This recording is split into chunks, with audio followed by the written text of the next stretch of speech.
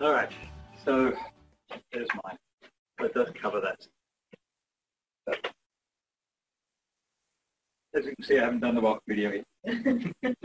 but they're going to do some introductory stuff. So this is a grad course. It's in the Masters of Education for Secondary Teaching Mathematics. I don't weird title. But it's um, it counts as one of their their electives. I think they do a bunch of education coursework and then they do 18 hours mathematics mathematics portion. So they're in-service teachers. I've taught it three times, I guess, in person. Never been failing it. Not sure I am, but we'll find that out before. it's a it's a work in progress. Huh? So it's certainly changed moving it on online. So this what I have maintained is that there's three real threads, I guess. So there's there's sort of a weekly lecture I give, and those lectures have attached to them some problems, and I introduce solving ideas and strategies, techniques, and nice stuff. And then there's some basic problems that they work on from that. And then there's some weekly readings as well. And so they read that and they write a response and page paper each week or something. It varies. I've added a textbook this time, so they'll they'll read chapters of a textbook. There's at the beginning of the course, basically the first eight weeks we go through the te- two textbooks, and then the last eight weeks we pretty much hit the, they read articles. So they write a response, and Joy, I agree with you. I don't know. I never know what to put as the prompts. I go backwards and forwards. I try to keep them general. You know, what is interesting? Contrast this to what we saw last week. You know, uh, but I, I, I find that very hard. Not my, not expertise. It's a work in progress. So that's the second thread, and then the, the, the other thread is kind of the main thread of the course, which is what I call the challenge. So every week I just throw some problems at them. Their job is to always be working on at least two of these, and they're meant to be hard. So they're not meant to be problems they can solve in a week. Sometimes they take weeks, sometimes they take a month, sometimes they take two months, and the, the, the people are very, very excited when they solve them after two months. No, and this is not constant work. You come, you go to them, you, you away from them, you come back. So they're really, they're Putnam problems, they're Math Olympiad problems. So they're drawn from all over, but they're mostly from math So unfortunately, a lot of them they can Google, but they're not meant. So, and I haven't, don't think I've had any problems. Why you're taking eight weeks and you're Googling the answer. I'm bit concerned. But um, so that, those are the three kind of strands. So I'll, I'll, show you. So most of the work is in this weekly. So each week they come in and they uh, get a nice little to-do list. Whoever it was who presented that the other week. So this is the first week they have to make a welcome video, which will be a VoiceThread video, and then you post that in the Skype. And Laura has nicely written instructions for all of that kind of thing.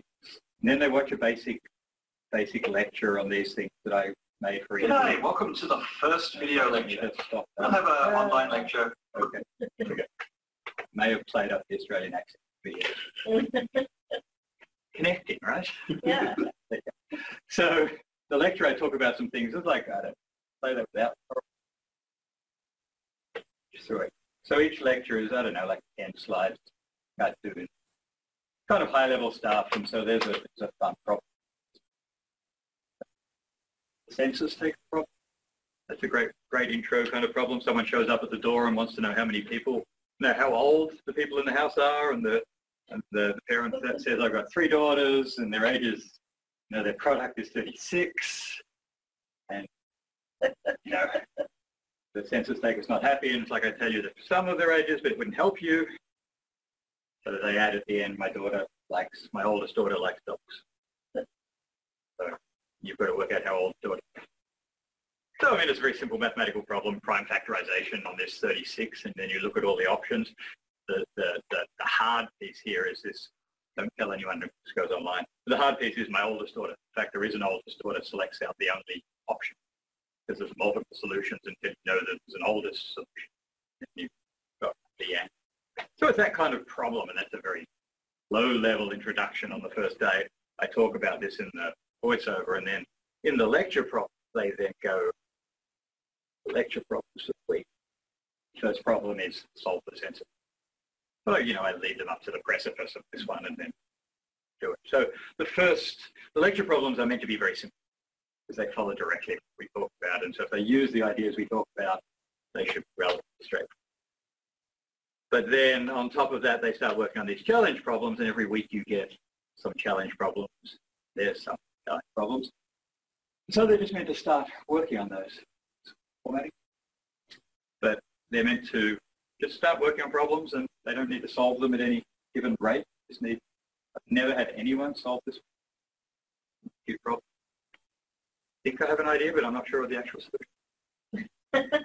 That's okay, because these are hard problems, right? I could probably Google it some, but I yeah, haven't sat down and worked that one in great detail. And then the reading is the other piece. So here, there's a bunch of reading. The fun one here is bias, bias time. And I mean, the idea of this is to link the, I mean, I, I feel like there's a huge divide with mathematicians, math teachers especially. They feel like they're different here's a dude talking about science and he's saying the same things that we say, right? The, the creativity and discovery and the question asking is valuable. I think that's the big overall flavor of the course, which is it's more important to, to ask questions and think about questions than to have answers. That's pretty much his topic on that video. And so that's the first week's reading. It's very exciting. But so the each week for these challenge problems, they're meant to write a status, report. right? Off that stuff. But it's just a simple, you know, I. Just show me that you've done some work. There's a rubric that says I've done some work or I haven't done some work. no, the, the, the most important bit of this and what the rubric actually evaluates is what are you doing? Why are you doing it? How will it help you if you finish it? So that's generally the structure for every week. If I get any of these. The maybe the most interesting thing that I added this time that I haven't explicitly done before is this uh, week three. We've got lecture and problems and status report, and then collaboration. You always talk about that really big part of it.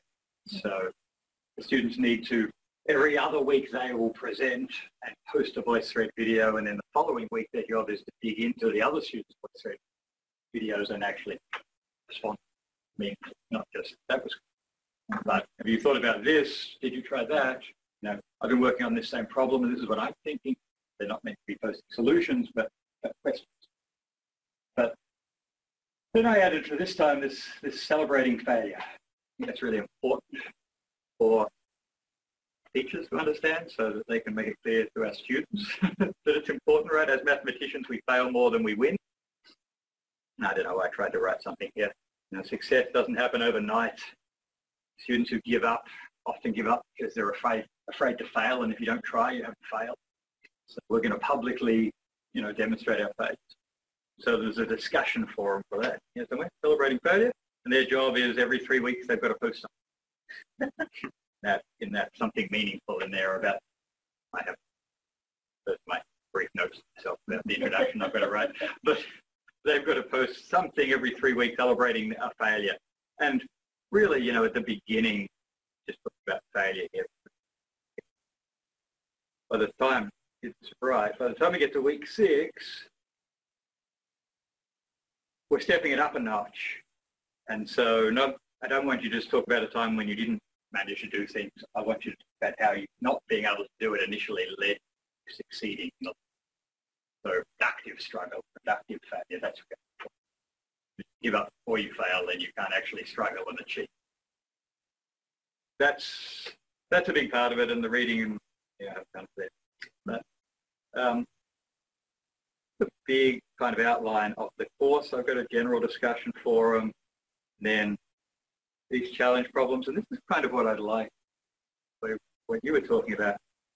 Sure, I can do it exactly, but for each of these problems, these problems span the uh, semester. So the biggest problem I think I've had, Laura's helped a lot, is trying to find a way for those to I don't know, span the semester, because I've got this structure where I've got these weeks where this, the readings evolve and that kind of, but these problems should continue throughout the semester. So there might be people who are working on problems from week one in week 15, and that's mm. fine. But it also makes the course structure a little complicated.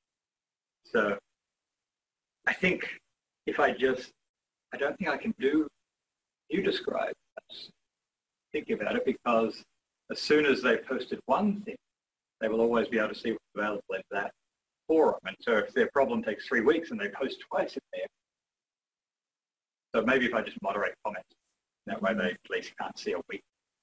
Like that way to approve them, and so I just approve them. Yeah. And then the next one, oh, I don't know. Yeah, know, that's Laura. We'll work that out, right? Yeah. Absolutely. Sorry, I need to unmute myself. That's fine. Clearly I take a few seconds. I take your sound. so, like Joy described, I have a course calendar here, and I kind of broke the assessment up in readings and weekly stuff, challenge problems, and there's things due for each of those. And I decided to just go with a one, like you said, make it simple, one due date for everything. So stuff will open. I'm thinking like Friday night, Saturday morning, something like that, and it'll be open for like a week through the following Monday, and everything's due the following Monday night. Yeah, people might appreciate the weekends. So if you want to look at the week stuff this weekend and finish it next weekend. But, so there'll be a bit of overlap, but maybe that'll be helpful. So you can kind of see from this. We started at the beginning with lots of lectures from me and readings from the text, but later on in the semester, the readings are the heavier. There's no actual lecture there, but there'll be a video. And then the last thing is the, they'll do a final presentation, but there'll be, there's a, there's a proof portfolio, a problem portfolio at the end. So they can submit problems along the way when they think they're done with the problem and I'll give feedback, rating and I'm just, just some general feedback. And as long as you get it to me by a certain date, I'll guarantee you feedback before the final ones are due or extensive feedback anyway. And then the, the end of the semester, this final portfolio is due and six to 10 problems they've solved during. So by that point, they've engaged in all of the things we're thinking about the problem. Not only have they solved the problem, but they've reflected on the solution process. They, you know, their, their weekly status updates involved that kind of thing in the metacognition and the thinking about what they were doing. And then the big picture kind of looking at it when they're done and kind of analyzing how they went from A to B. And that's pretty much the structure of the course. I, I may, there's going to be a midterm exam, but actually got rid of the final exam. The exam. I need one. at the at the end, it's I mean, they're writing an essay every week, multiple other homeworks. There's enough for it. so got rid of that final exam. So that's basically where I am with that. What's the wisdom under? Oh, the wisdom of the cut.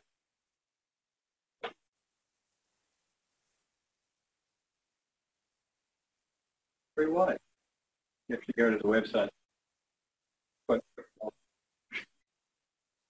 anyway. he, he, he's describing the problem-solving process there without the first right? You struggle with it, you find it, you ask questions, all of that. Gotcha. Have you seen Wreck-It Ralph? I haven't. Okay. So I love ma- making little snippets and tying my class with movies. And in Wreck-It Ralph, one of the main characters is actually the bad guy of the video game, and he really struggles with being the bad guy. And eventually, he he and all the other bad guys have a little meeting, and they have this mantra that it's okay to be the bad guy. And so I was just thinking that if you could like embed that short little snippet, the it's okay to fail, Yeah. like just for comic relief or something. Um, That's basically the so these questions, right? Um, I've never taught online, so yeah, I'll ask this one in full. um, it's helped me think about the course very much. Think it's better, structured it a bit in by making it up as they go along. So it, has been helpful in that sense, the, the structure at the beginning. Um, certainly I, I've certainly got better at Blackboard things. Never done more than just dump stuff online. So that's been very useful. Certainly, I've got a better impression, obviously, of online learning now that I've actually been forced to do it. See how we, see how things go, things go the fall. What does that mean? You don't want to know? I mean, I, I come from a field where it's difficult to do online because people are intimidated enough by the subject. Then when you add technology that they find difficult to deal with, makes the whole thing more imper- more you know impersonal. I think that just makes things hard. And then I also think there's students tend to students who are afraid of mathematics take it online because they think it'll be easy. That's the exact wrong approach. but I, I can see ways that you can make a, an online course that's more personal. I plan to all of the all of the actual videos I've made are just me talking, but I plan to have weekly like factory announcement kind of things that are actually videos that's face. At least at the moment, we've got the advantage that most of the people in this master's program are either our ex-students or our instructors. So I know them personally before start. That was, that was gonna be a thing. I know probably your audience are gonna be. The one thing I noticed is, um, probably be good to put, uh, central standard time on the time, time Mm. for the due dates. Just in case you were to get someone from, what, thirty minutes away and it's a different time zone? Yeah. Can I just put, can I just GMT it? Like, good. Yeah. But That- that- I mean, I, I think it all looks great. That was just, yeah. that yeah, was- that's a good idea. I'll put it in the just course calendar. Yeah. No, you know. I wonder if you even need the midterm. Well, I'm okay with that, but then I got to fill another week. I think they have a lot of work and Yeah, Yeah, you're right. If I just put, yeah.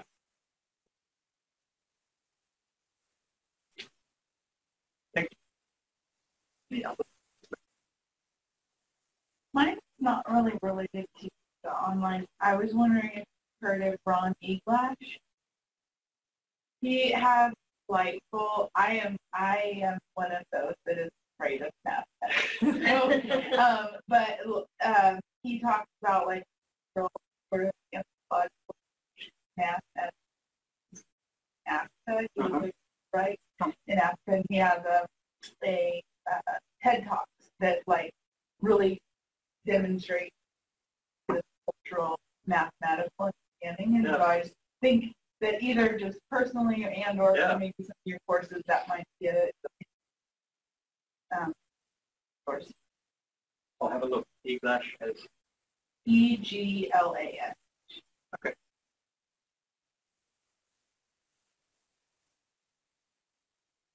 So he gets me excited about math, which is very difficult. You can roll it. No, thinking of some of those problems, challenge problems. Well, actually, I mean, I was sitting here thinking if someone had, at least what you presented here, like, if someone had presented math that way to me, mm-hmm. I, I would have been like, cool, you know, rather than the drill and kill kind of approach that usually math is. We're trying to move away from Right. So, so it seemed even from an anti-math. I mean, I'm not an ed person, but I take an ed person. I mean, you may differ, but I try to approach this as a this is a math content course. But my job is to, you know, show some, show the teachers of this stuff some ways to do things that is actually more beneficial than what you described. Right. I mean, problem solving question. We're just asking questions for a challenge. And I think the failure thing would resonate with students too, because I know in high school and they- they're just, oh, I just give up. I'm just done. It's like, let's, let's think about ways to encourage or Yeah. to celebrate your failures and think about. So I think it's great. I see a lot of, um, it's been fun. I've been wanting to. I've been. I talk about that in class, but I, I want to more. I want to somehow make it like I've built it into. This. I need to do that in my face. So, there you go. problem. Thank you.